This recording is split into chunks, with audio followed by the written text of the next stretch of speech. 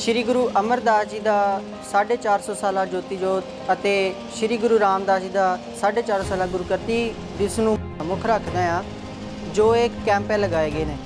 ਸੋ ਤੁਹਾਨੂੰ ਵੀ ਪਤਾ ਕਿ ਜੋ ਆਪਾਂ ਤੁਹਾਨੂੰ ਕਰਵਾਇਆ, ਆਓ ਗੁਰੂ ਇਤਿਹਾਸ ਜਾਣੀਏ ਵਿੱਚੋਂ। ਸਾਕਾ ਚਮਕੌਰ ਵਿੱਚੋਂ ਤੇ ਰਹਿਤ ਮਰਿਆਦਾ ਵਿੱਚ ਜੋ ਤੁਹਾਨੂੰ ਅੱਜ ਕਰਵਾਇਆ ਗਿਆ, ਉਹਨਾਂ ਵਿੱਚੋਂ ਅੱਜ ਤੁਹਾਨੂੰ ਸਵਾਲ ਪੁੱਛੇ ਜਾਣਗੇ।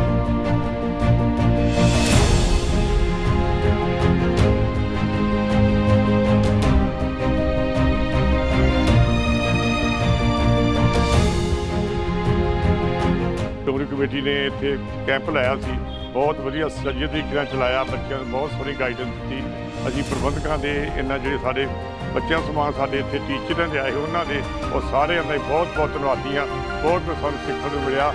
ਸਾਡੇ ਬੱਚਿਆਂ ਨੇ ਬਹੁਤ ਇਹਨਾਂ ਦਾ ਮਾਣ ਸਨਮਾਨ ਕੀਤਾ। ਹੋਵੇ ਇਹਨਾਂ ਨੂੰ ਬਹੁਤ ਬਹੁਤ ਸ਼ਲਾਘਾ ਕਰਦੇ ਹਾਂ। ਅਸੀਂ ਬਹੁਤ ਖੁਸ਼ ਹਾਂ।